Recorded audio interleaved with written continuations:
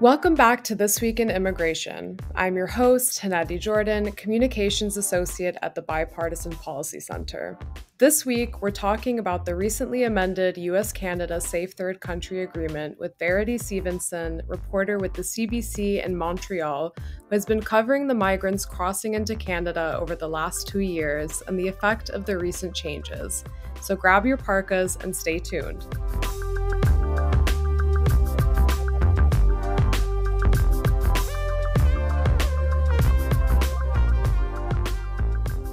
Our guest this week is Verity Stevenson, a reporter with CBC, the Canadian Broadcasting Corporation, based in Montreal. Verity, welcome to This Week in Immigration. Thanks so much for having me. It's good to have you here. And joining us for additional commentary is this week regular Theresa Cardinal Brown, who listeners might not know spent several years overseeing the US Canada border relationship while working for DHS as the DHS attache at the US Embassy in Canada. Welcome back, Theresa. Thanks, Hanadi. Okay, so let's get right into it. On March 24th, the United States and Canada announced the expansion of the 2002 US Canada Safe Third Country Agreement, called the STCA, which aims to discourage dangerous crossings and encourage the lawful migration pathways.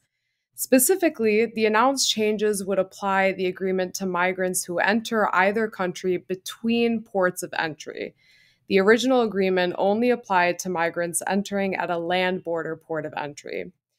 Theresa, can you start us off by giving us some background on the US Canada Safe Third Country Agreement? What does it do? Why was it negotiated? And why didn't it apply between ports of entry?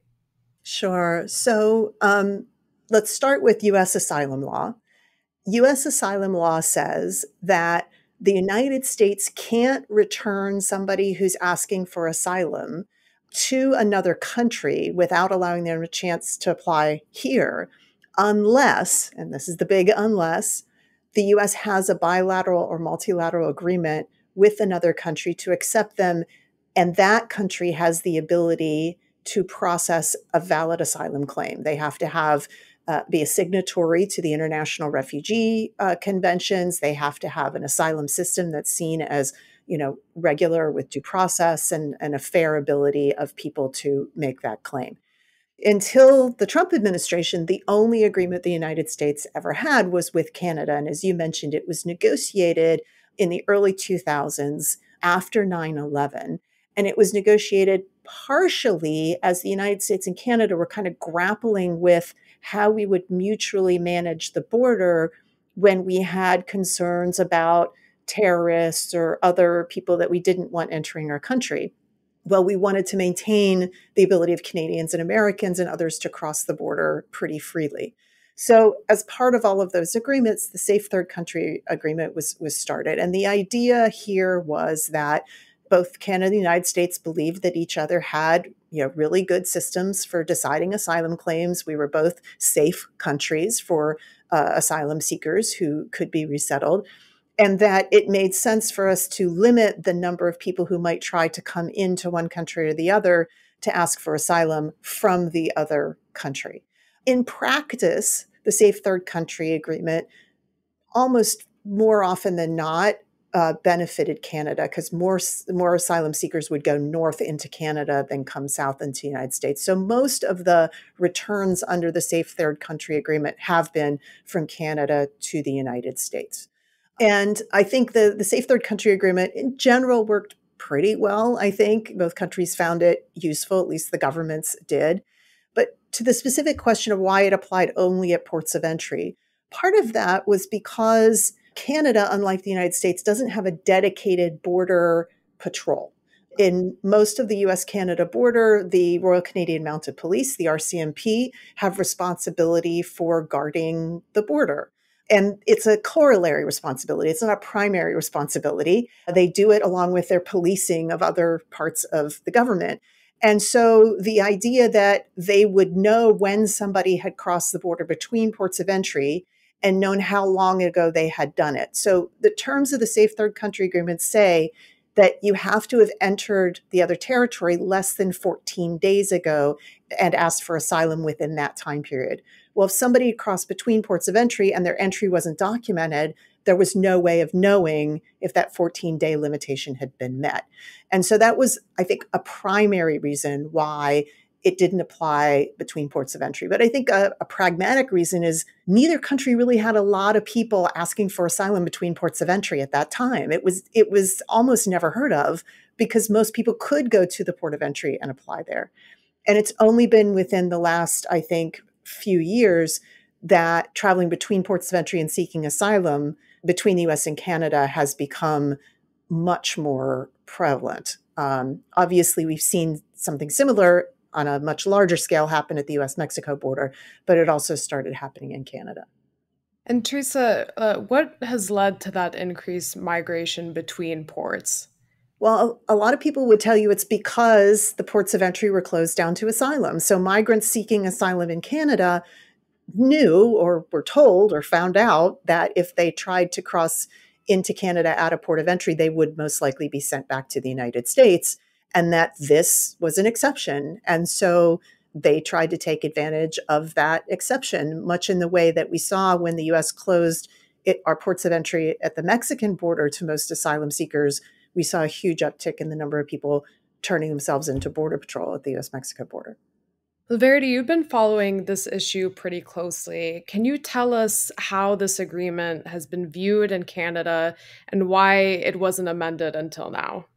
Yeah, it's interesting to hear Theresa's background because I started covering this in 2014, but mostly in 2016, 2017, when word about the loophole spread. So basically, after a spike in crossings in 2017, there was this regular flow of people, about 200 or 300 people a month, crossing at Roxham Road, which is um, I can tell you more about it later, but basically an unofficial crossing south of Montreal uh, that became popular as a result of word getting around about this loophole in the Safe Third Country Agreement after Donald Trump was elected president in the US in 2016. And so the crossing was closed for nearly two years during the pandemic. And at that point, you know, the agreement wasn't really a political issue. I was briefly, you know, in 2017 when when we saw this spike in crossings, but we didn't really hear about it for several years until this unofficial crossing, quote unquote, reopened up again uh, in the fall of 2021. And at that point, you know, especially in 2022, so in the following months, uh, we really saw sort of these global migration movements pick back up in earnest. Um, a lot of countries' economic and political situations worsened over the pandemic. And so there has been just more people on the move in general. And so in the spring of 2022, we started seeing a new rise in the number of asylum seekers crossing at Roxham. Not quite the 2017 levels, but um, the closest that had been um, seen since then. Uh, so, for example, 5,600 claims were processed following irregular crossings from July to September 2022, and then that went to 8,000 from October to December. And so most of these people were ending up in Quebec, uh, where since 2018, the government in place in the province, the Coalition Avenir Québec government, um, has capped immigration numbers. And that government wants to prioritize skilled workers and French speakers. And so the Premier, Francois Legault, says there aren't enough resources in the province to properly welcome more than 50,000 newcomers per year. And so what he had been asking is for the federal government uh, to close the loophole in the agreement with the US and effectively close Roxham Road. So he'd been asking for this for a while, basically since he was in power in 2018, but that really those demands really came back in like he was seriously asking for this um, i'd say end of 2021 early 2022 so that um, yeah so that political pressure really ramped up. And the us did agree to renegotiate the deal but closing roxham wasn't really in the us's interest. I think theresa you sort of hinted to this because it meant Canada would take even fewer asylum seekers than before.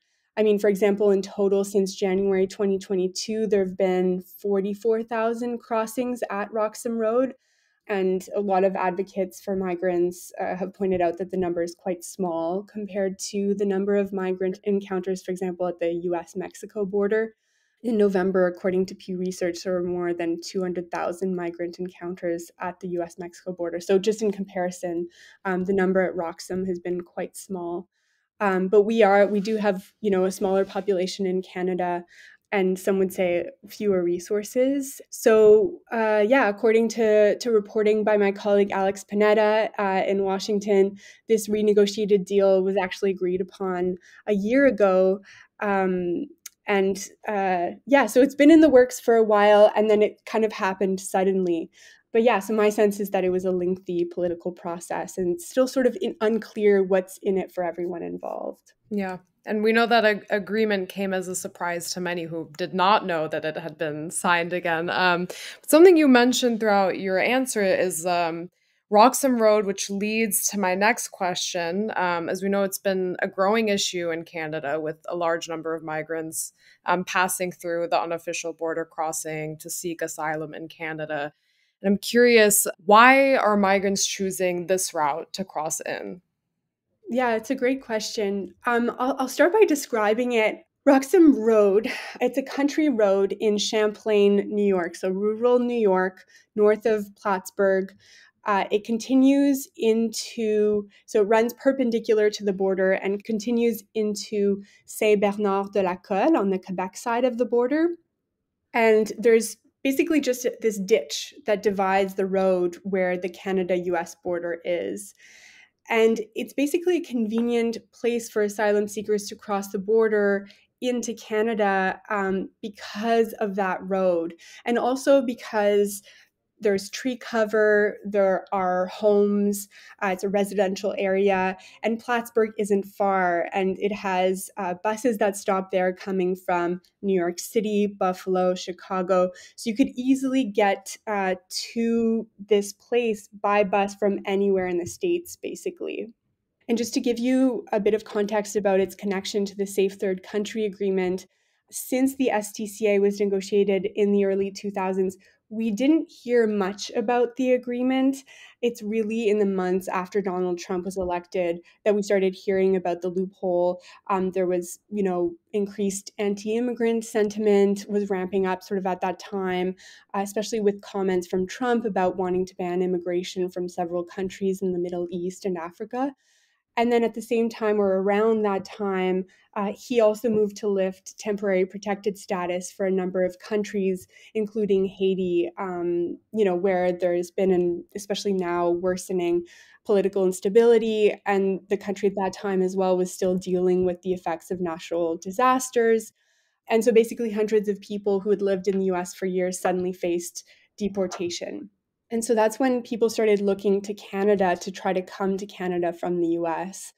And something happened on, on Christmas Eve over the holidays that year. Uh, these two Ghanaian men tried to get into Canada walking over the border from the US in Manitoba and you know it was extreme cold at that point manitoba is a prairie province and so there's you know you can imagine just unobstructed winds and they were severely frostbitten and lost several fingers. And so that border crossing started to be seen as really unsafe. Um, and it's a story that shocked a lot of people in Canada. It was quite a big deal at the time uh, because of all the rhetoric around Trump. Yeah, so that border crossing in Manitoba, that place, it's near Emerson, Manitoba, and it's another place that is sort of an easy crossing because there aren't many rivers, uh, there are more roads and so on, but it is open prairie and it is unobstructed winds and it's it's winter 6 7 months a year there. I mean in Quebec as well, but you just have less of that wind and and also more cities around um, Roxham Road. So basically when that story happened it shocked a lot of people in Canada the fact that asylum seekers would take that kind of risk just to get here And so, not long after that, Canadian Prime Minister Justin Trudeau sent a tweet about how Canada's doors were open to people fleeing. Uh, he said persecution, terror, and war. And so, what we know is that a combination of all these factors and growing global migration movements at that time and currently led to word getting around among people seeking asylum that one of the ways to claim asylum in Canada was to get over the land border outside of official ports of entry, especially if you had been through the states to get here. Uh, and so that's how Roxham Road got to be seen as the more safe uh, way of getting in, uh, safe, unofficial way of getting into Canada. The migrants who did choose to cross through Roxham, what happened after they crossed and how are they generally welcomed in Canada?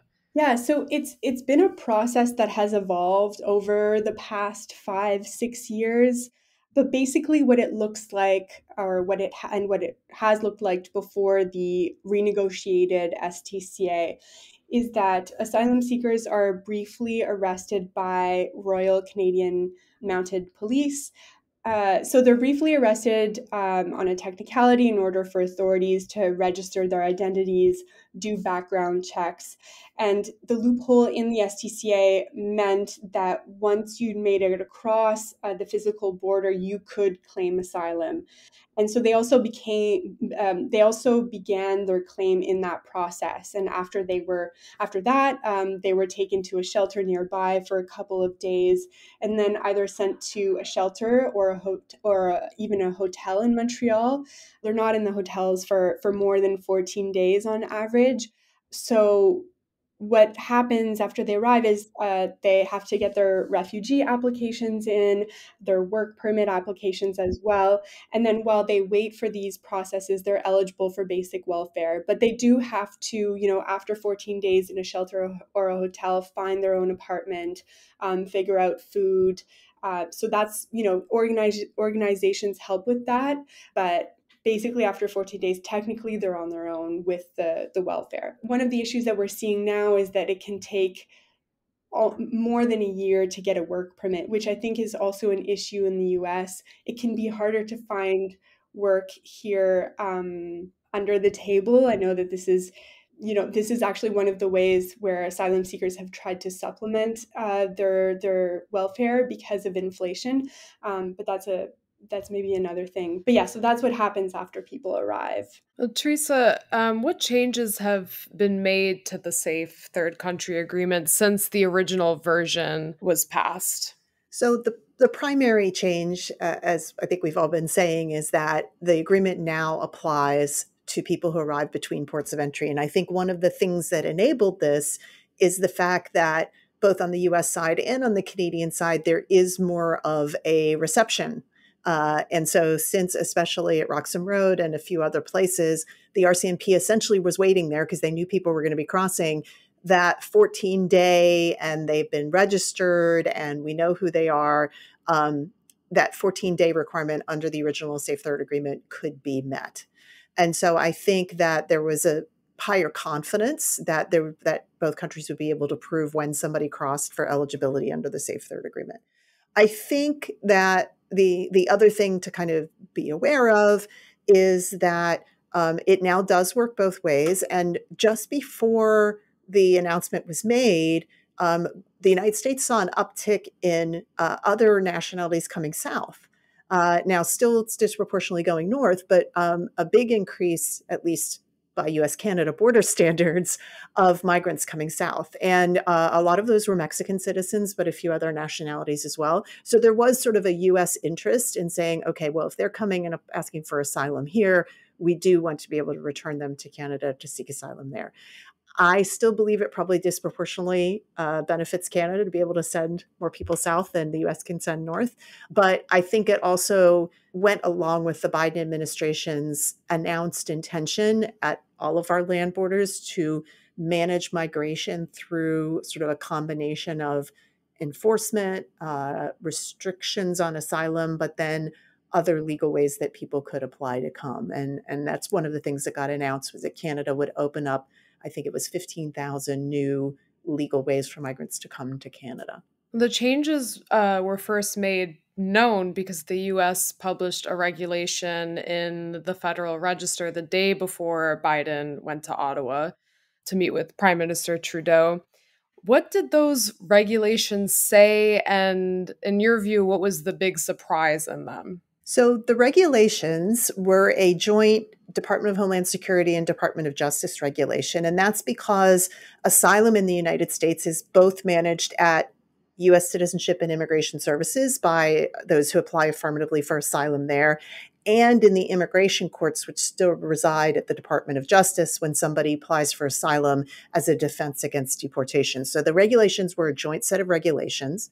And they basically said, how the agencies would interpret the the safe third agreement for these new arrivals how it would be documented what the exceptions to sending somebody back across the border would be how quickly it had to be done who was responsible for what part of it. That was the summary of the the regulations. But the big surprise in there was the regulations clearly stated that they were implementing an agreement that had been signed in March and April of 2022. So the big surprise to everybody who wasn't inside one of the governments was that they had already agreed on these changes more than a year ago. And here we were ready to implement. And the other surprise was not only were we going to implement it, we were going to implement it literally 24 hours later. Uh, it was pub- it was posted for pre-publication on Thursday. Friday formally put in the Federal Register to be implemented as of 12:01 a.m. on Saturday. Uh, so, but I think those were the two big surprises that came out of that regulation. Well, Verity, how have these changes been received in Canada, both politically and the government and publicly amongst Canadians? In the immediate aftermath, especially in Quebec, uh, the changes were actually sort of viewed by politicians, even in media, in some cases as a success. Kind of like tying a neat bow on what had been seen as a bit of a political impasse. But what happened is, you know, as you as you mentioned, that agreement came into effect very quickly after it was announced over a weekend as well. And once reporters got to the border and saw that there was, um, you know, no resources in place to deal with this sudden change, I think the narrative changed slightly at that point. I was there over the, that weekend, and we saw that these busloads of asylum seekers were continuing to arrive in Plattsburgh in the days following the change. Uh, and these were people who had been, in many cases, traveling for months, uh, thousands of kilometers, a dozen countries. Many had spent their savings. And so they were not only really shocked, but um, this is rural New York that they're arriving to. And so there aren't really any shelters resources in place for migrants and almost no public transit. So people were really scrambling to figure out where to go, uh, how to afford getting there. And so that's on top of that disappointment of hearing that Canada is no longer a possibility for most of them. And many people also didn't realize that well, many people wanted to try anyways to go to the border because they weren't seeing that much of a change. The RCMP officers were now pointing to a new sign that said it is illegal to cross um, into Canada here and you may be turned back into the States. But apart from that, they were still taking them into this processing warehouse that had been there all along. And so people still wanted to try their chances. It's just that many of them ended up being detained for several days and then effectively being released back into the United States. And what a lot of them didn't realize is that once that happens, you're technically not allowed to claim asylum in Canada ever again. Um, and so there was a lot of misinformation going around. A lot of um, people who did not know about these changes were not informed of the risks of trying to cross anyway. Politically speaking, um, you know, this happened over a weekend. So while there was less of a celebratory tone at that point, it was still sort of seen as something that would die down. And already we have seen a lot less people trying to cross at Roxham. Local residents who'd been sort of complaining about the traffic of people in cabs. Um, they seem to be appeased, but then others are worried they're going to be seeing more and more people trying to cl- cross clandestinely. Um, already that weekend, one woman uh, in the area saw a family get arrested by RCMP in her driveway. Uh, and local advocates have said that in the long term, we're probably just going to be seeing more people taking risks along this nearly 9,000 kilometer border. Um, and Theresa, you were mentioning people, you know, there being an increase in traffic going south of the other side. I mean, two men died in the area over the winter trying to get to the states, and so what advocates are are worried about is that these situations are going to is what we're going to start seeing um, of people going northbound as well. You mentioned an, an uptick in clandestine crossings and uh, and migrant deaths from immigrants who are trying to claim asylum but are now taking more dangerous routes. So, is it fair to say that we've already seen a way that this is impacting migration by making these routes a little bit more dangerous for migrants? And have we seen any decline in the number of migrants who are crossing since this agreement took effect? So, we're definitely seeing a decline in the number of, of asylum seekers crossing. The deaths that we saw in recent months are of people trying to get to the States. But what advocates have said is that, okay, well, maybe this is something that could happen of, to people going northbound. And so they're seeing this as, um, you know, what could potentially happen more frequently as both sides of the border are sort of hard to get across. There were uh, two families that died um, recently trying to get into the States by boat um, in Akwesasne and and uh, upstate New York. It's a path that's that's quite well known that part of the St. Lawrence River. So you know people don't think that it had anything to do with with the change in the STCA, uh, but once again they're pointing to it as okay, well, could this happen going the other way, basically. Well, that leads right into my next question, which has to do with deaths in the St. Lawrence River. Um, you know, many are calling for the agreement to be dismantled following the death of eight people attempting to cross into the US illegally from Canada whose bodies were found in the St. Lawrence River just days after the changes went into effect. And critics are arguing that the agreement would likely result in refugees and migrants taking greater risks, as you just mentioned, trying to cross the border, which would lead to more deaths like those that we've seen. Um, and so, what are some of the other key criticisms? Of the Safe Third Country Agreement that you are hearing in Canada outside of um, fears of an uptick in migrant deaths? So the agreement is basically an understanding, as Theresa was saying, you know, that Canada and the US have such similar immigration systems that an asylum seeker in the US has the same chances of having their claim accepted than in Canada. But what a lot of experts and lawyers um, and also advocates, of course, that I've spoken to have said that they say the US has different standards in, in terms of some forms of discrimination. And that's actually one of the arguments in a challenge to the STCA that's currently awaiting a decision at the Supreme Court of Canada. A lot of people were also surprised that Canada went ahead with this renegotiation when uh, the Supreme Court could, in fact, find the agreement itself to be unconstitutional. Um, another criticism of the agreement is that it kind of puts Canada in this position of saying, not in my backyard uh, when in fact the number of asylum seekers crossing into Canada is quite small compared to the US or countries in Europe like Germany.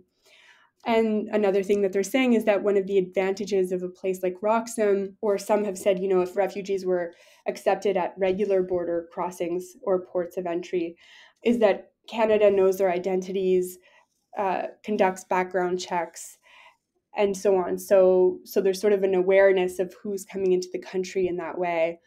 But for people crossing clandestinely under the new agreement, if they're caught within 14 days, they could be sent back to the States. And so advocates say there could be a lot of people going underground as a as a result of this and for extended periods of time potentially. Well, Theresa, what criticisms are we hearing on the US side of things? I mean, Verity's broken down sort of the concerns and from Canada. What are we hearing in the States, both publicly and politically speaking?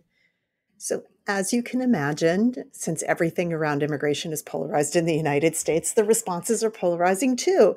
I would say that, much like in Canada, a lot of human rights and refugee and immigration advocates are arguing that these kinds of agreements just result in immigrants taking more dangerous routes, uh, more clandestine routes, putting their hands in the, themselves in the hands of of smugglers, uh, having to go underground, um, and just making them much more vulnerable uh, when all they're trying to do is seek safety. So I think that's that's sort of the primary criticism you hear in the United States.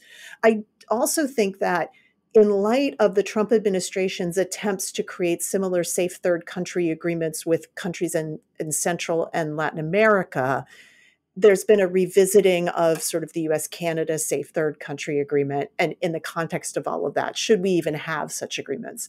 And I think those criticisms, uh, primarily, as I said, are coming from human rights advocates, immigration and, and refugee and asylum advocates. On the other side, I think for immigration hawks, it's sort of this disproportionate what does the us get out of it right um, if more migrants are going to canada and Canada is just sending back here to be deported, most of them, because even if they do apply for asylum, our asylum grant rates are relatively low, then there are responsibility and our costs to manage and, and, deport. And we do have a lot smaller border presence along the northern border, even though the border itself is twice as long as the US Mexico border. But historically, the numbers of irregular crossings at the US Canada border have been minuscule. I mean, small percentages of what we see at the US Mexico border. So um, even though there's a lot fewer border uh, patrol officers and, and stations along the northern border, it hadn't been that big a deal. But if more people are going to be sent back, then is our infrastructure up to that? So I think those are some of the critiques that you hear on, on the US side about the Safe Third agreement. And again, I think that uh, some of this is, you know, the comparative to what's happening on the U.S. Mexico border. I mean, I think it bears to be seen how many people are returned under this, where they are from, whether they will seek asylum in the United States, because if they do seek asylum, then we have to give them the same opportunity as somebody who comes across the US Mexico border, at least right now. But as I noted, uh, many of the migrants that have been coming, at least between ports of entry on the southbound direction, have been Mexican migrants who aren't asking for asylum. And so they can be very quickly uh, deported under expedited removal. Now, some other nationalities, I believe some of these people who died in the St. Lawrence were, were from other nationalities as well, and it remains to be seen what they would have asked for if they had arrived. Um, you know, the choice of a migrant to seek safety in either the US or Canada probably has a lot of criteria to it, right? One is where am I most likely to, to obtain protection? I will say that Canada is much more generous in offering benefits to asylum seekers. The United States can take a very long time to grant somebody work authorization. You can't ask for work authorization until six months after you've applied for asylum. And the way our process is completely backlogged, it may be a year or two before you actually get to that point. We don't offer any sort of welfare to asylum seekers at all. They're not eligible for any public benefits whatsoever. And so it's probably a lot harder in that sense. It may be easier to find work under the table in the United States than in Canada. I can't really speak to that, but it's a little bit more challenging. However, if you have family or relatives in the United States that you're seeking to join, then it may be you you may prefer to come to the United States. So it's all individualized decisions. And I think the politics of this, I think in some respects, uh, the Biden administration will see this as a victory, particularly given that Canada has agreed to open up more pathways for migrants legally as a result of this agreement. I think they also got Canada's agreement to help a little bit more with some of the commitments under the LA Declaration in Central and South America. So I wouldn't say the US gave away the store for nothing. I think we did probably get some things and probably some things that aren't public. Um, I think that's that's to be borne in mind whenever you see public announcements of diplomatic agreements. There's a lot that you never see that are agreed to as well. That's an excellent point. But I, I something I want to go back to is, um, you know, these concerns over migrants taking more dangerous paths. Um, what steps, if any, are the U.S. and Canadian governments taking to mitigate some of these more dangerous crossing paths? The Canadian government said that they would increase surveillance of the um, of the land border. That's the main thing that they've said that the RCMP would increase patrols. And so, you know, does this mean okay, a greater burden on on first respond responders sometimes in small communities? We don't know. It's so hard to say, you know, how many people will try to do this and what rescues will look like or uh, apprehensions and so on. But so far, all we've heard is really increased surveillance and patrolling. Got it. So a lot of this still needs to play out. And Theresa, the US government, what have they committed, if anything, to helping mitigate some of this?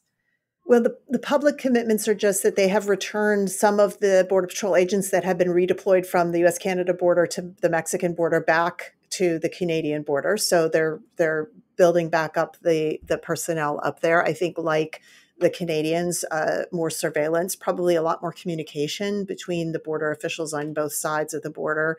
Um, I think one thing that's very different along the US Canadian border than from the US Mexico border is just the level of intense not just coordination and communication but collaboration between uh, the border agencies, uh, law enforcement agencies on both sides of the border, um, on everything from migration to criminal activity to smuggling to investigations, you name it. We have very close law enforcement relationships uh, with many law enforcement entities in Canada that I think they'll probably re up uh, some of those to to try to um, manage what's happening here. But I think, like Verity, we haven't seen or heard a lot of other public statements of how uh, these things might be mitigated. I do believe that for the U.S. government's perspective, um, finding more lawful pathways for people to come is their alternative.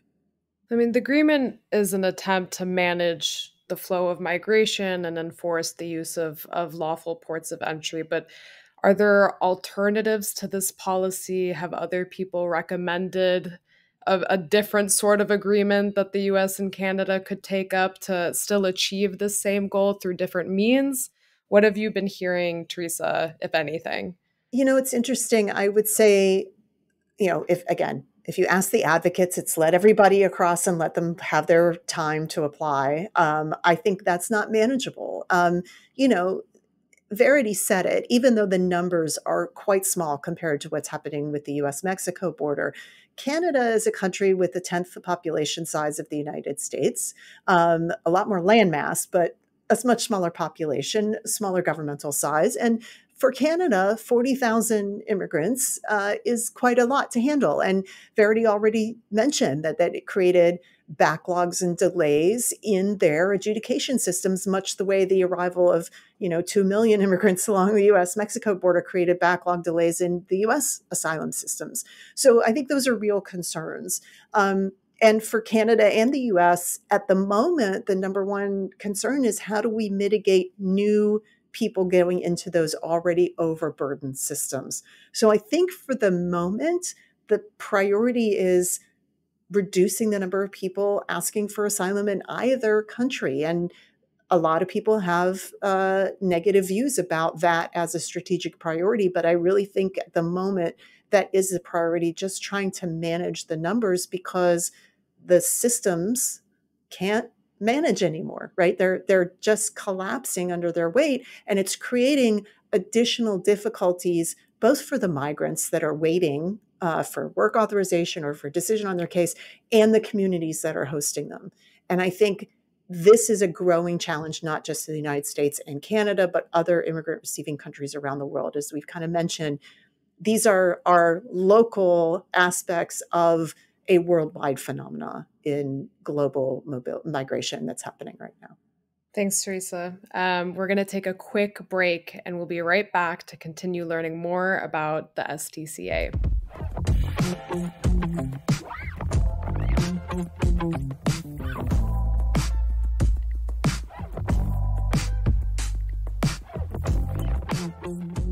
Okay, and we're back. Verity, can you speak to some of the legal challenges that have been brought against the STCA in Canada? You mentioned that there is a, a case before the Supreme Court. Um, and what are the outcomes of these challenges thus far? Yeah, well, so that's that's still pending, but I can tell you a bit about how it got to the Supreme Court. So the most recent um, challenge was in the summer 2020, where these groups, including Amnesty International and the Canadian Civil Liberties Association, along with a couple others, they launched a, ch- a challenge in federal court. Um, and to the Safe Third Country Agreement. And at the time, uh, the federal court sided with the advocates. Uh, it ruled that the agreement violates Section 7 of the Charter of Rights and Freedoms in Canada, which protects an individual's right to life, liberty, and security of the person. But the following spring, the Federal Court of Appeal, because government lawyers appealed this decision, uh, so the Court of Appeal sided with the federal government. They set aside the decision. And so that's really what paved the way for the arguments before the, the Supreme Court. And the federal government has argued that there are many protections for refugee claimants in the US legal systems, um, and that claimants sent back from Canada can access those protections. And right now, well, those arguments were heard in October 2022, and so we're still waiting for the court to uh, hand its decision down on, on that case. So the fate of the agreement still remains to be seen. Absolutely. Theresa, as we've mentioned throughout, this deal was a big surprise to many in the immigration world. How did both parties manage to keep it so quiet and and why did they? What was the reasoning behind this surprise announcement? Well, how they managed to keep it quiet is a big, I think, question. Uh, you know, we live and work in Washington D.C. that leaks like a sieve. Uh, I don't know if anything. Ottawa has the same reputation, uh, and we didn't hear anything. Um, but interestingly enough, I think that what what we did hear for the year and the months leading up to it from the Canadian government and the U.S. government was this sort of they let's put it this way they left the perception that it hadn't been done yet. Yeah. And I don't think anybody out and out lied. I, am not going to accuse anybody of that, but they certainly allowed that perception to persist, especially in Canada, where, as you already heard Verity say, the premier of Quebec, which is like the, the equivalent of a state governor here, was railing on their Prime Minister Trudeau over this. Why haven't you pressed the United States? Why haven't you gotten the Safe Third Agreement? He was taking blow after blow after blow politically on this. And, and even the US ambassador, like the few days before Biden went up there, went on national TV in Canada and sort of indicated that, uh, you know, we have a lot of things we need to talk about. Like he didn't say it wasn't done, but he didn't it say it was either. So it wasn't a priority, right? He said it wasn't a priority. Now, there's a lot of ways to read that. Maybe it wasn't a priority because it was already done. Realistically, I think one of the reasons that it took so long, and, and I think this is just a bureaucratic reason, as somebody who was in government and negotiated bilateral agreements between the President of the United States and the Prime Minister of Canada, the, the Beyond the Border Agreement when I was there, you can agree on something, and that doesn't mean you can immediately do it particularly when you're talking about international agreements, both countries may have uh, requirements under their laws and constitution of what it takes to make that agreement binding or formal. I know that many agreements that uh, the United States signs are what we call executive agreements. So they're within the president's authority to conduct foreign policy. They're not formalized by, as a treaty, so they don't require congressional agreement. And so the president has a lot more leeway to kind of sign some of those things. Some things, those same things in Canada, maybe do require parliamentary assent or uh, you know treated more seriously as a, as a treaty. In this case, I think there were also very significant operational issues especially since it appears they didn't want to let on that this was going to happen until it happened. And I think you asked why did why did they keep it secret? I think predominantly it was if it had been made known that in a month's time the border will be closed, you would see multiples of thousands of people going across that border as quickly as they could while it was still open. And that would have created even more of a problem on the Canadian side and and probably on the US side as well. So I do think that that was a primary reason why they didn't want to announce that this was done or had been done. Also, I think that there were probably a lot of details about how okay, how do we track this 14 days? How does each side have to document it? And on the US side because we had to issue regulations. And I will tell you the regulatory process in the United States is not quick, it is not simple, it is not easy, especially if you hope that regulation will stand a court challenge. And because there were two federal departments involved in making this regulation, and oh, by the way, those federal departments were also doing a separate regulation on asylum, what we're calling the asylum transit ban or the restrictions on asylum at the border. It probably took a long time to get that done and for this bilateral negotiation about how it would all get done. That having been said, when the president travels somewhere to meet with a foreign leader, there is immense pressure to have what are called deliverables, something they can agree to and announce. And so, however long all of that process was taking leading up to the visit, I am 100% sure that in the weeks leading up to the visit, there was triple down effort to try to get a final agreement and get everything in place so that it could be announced. And so, while the governmental agencies may take their time Otherwise, when the White House comes in and said, nope, the president is going to announce this, you better have it ready, they will find a way to get it done. and I think that's you know the best way to do it. And kudos to Verity's colleague Alex Panetta from CBC, who you know very quickly, because he was surprised as all the rest of us, researched the story of, of how that happened. But I think the the reality is that you know agreements can be signed implementing them takes a lot longer uh, depending on the, the complexity uh, but you know, you get the president involved, and things can move quickly. Well, Verity, how has the agreement affected the relations between the U.S. and Canada? Has it bolstered and strengthened it in any way? That's a really good question. Um, I don't know how well placed I am to answer that because I'm not. I don't report so much on on the politics, the relate the the of the relationship between Canada and the US, but I think that it's been seen by many as solidifying that relationship, um, especially because of the fact that people were aware that this was, you know, maybe not a priority for the states, maybe not in the states' interest. And then so for all of a sudden, it to happen and I think was sort of seen like, oh, okay, well, then maybe we do have more of an ear than we thought we did on the US side. Uh, that's the main, that's the sense that I get. Theresa, would you add anything to that? As somebody who's worked on US Canada issues for a very long time, and we interviewed my colleague Chris Sands uh, from the Woodrow Wilson Institute about this before the, uh, after the National North American Leaders Summit, too.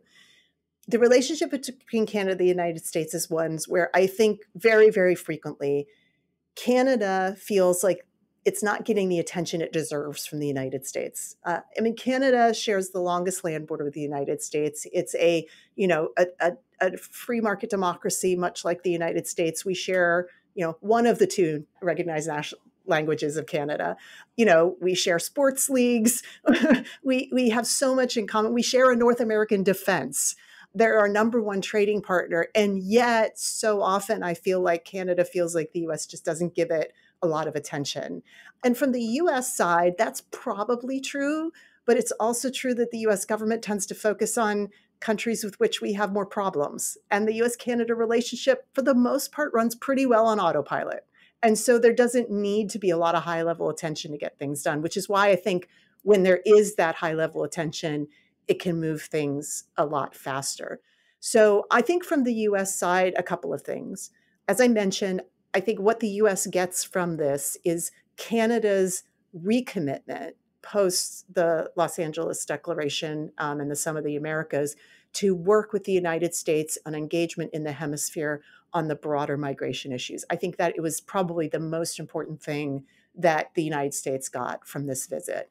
And if the Safe Third Agreement was the price of getting that, that's probably all to that's fine.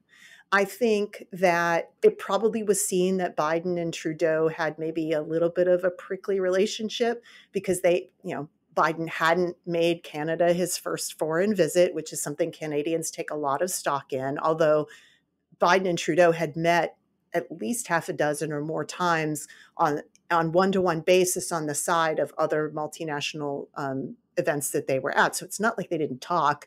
Trudeau was one of the first people that talked to Biden after he won. So they talk on a regular basis, but they didn't make the visit, and that that symbolically matters. I think at the like I said, I think at the end of the day, from the United States, this concentrated period of attention on Canada is going to pay dividends for what we hope to do on migration hemispherically. And I think that's probably the, the most important takeaway from the US side. There's one thing I, I would add is just that um, that the, some of the criticism that I've heard on this is that it's it's sort of a continuation of Canada mimicking some US policies.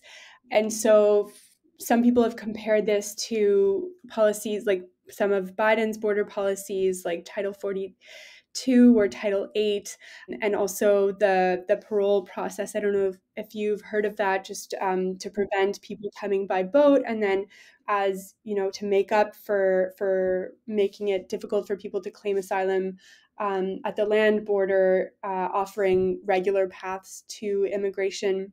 But a lot of people that I've spoken with say, well, that sometimes that's just not possible for people, and so you know what are what about the people that are so so desperate that they are taking these means to get into the country? And so yeah so i think that that there, the, some of the criticism has been well maybe is this just canada mimicking us policy basically? Yeah. And and the, by the way those are the same criticisms that biden got for those policies from folks in his own party in the united states. So yeah. I, I, think uh, you know one of the things I take away from that is it's hard to be a national. Indeed, I do not envy Certainly not my dream job. well, thank you both for sitting down and joining us today to talk through all of these topics. I really appreciate it. Thanks so much. Thanks so much.